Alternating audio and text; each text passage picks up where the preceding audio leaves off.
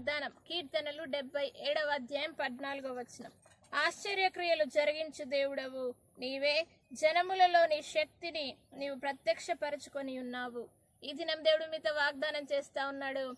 ఆశ్చర్య క్రియలు జరిగించు దేవుడు. ఆయనే కాబట్టి జనములలో ఆయన శక్తిని దేవుడు ప్రత్యక్షపరచబోతున్నాడని దేవుని వాగ్దానం సెలవిస్తా ఉన్నది. నా ప్రియ సహోదరులారా మీ జీవితంలో మీరు పడుతున్న ప్రతి కష్టానికి ఇదే ఆఖరి దినం. మీరు పడుతున్న ప్రతి అనారోగ్యానికి ఇదే ఆఖరి దినం. ఆయన ఆశ్చర్య కార్యాలు జరిగించే దేవుడు కాబట్టి జనములలో ఆయన క్రియలను దేవుడు ప్రత్యక్షపరచుకొని ఏసే గొప్ప దేవుడు అని తెలియజేయబోతున్నాడు కాబట్టి ఆయన విశ్వాసం ఉంచండి. ఆయన ఆశ్చర్య క్రియల మీద నమ్మిక ఉంచండి. దేవుడు మీ జీవితంలో ఆశ్చర్య క్రియలు జరిగించునుగాక.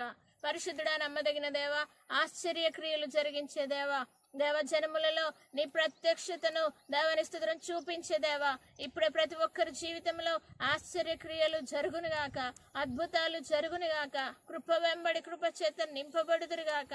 అద్భుతము జరిగించి ఆశ్చర్యక్రియలు జరిగించి జనములలోని స్తోత్రమేసే నీ నామాన్ని హెచ్చించుమని యేసు పరిశుద్ధ నామమును బట్టి అడిగి వేడుకుంటున్నాము తండ్రి.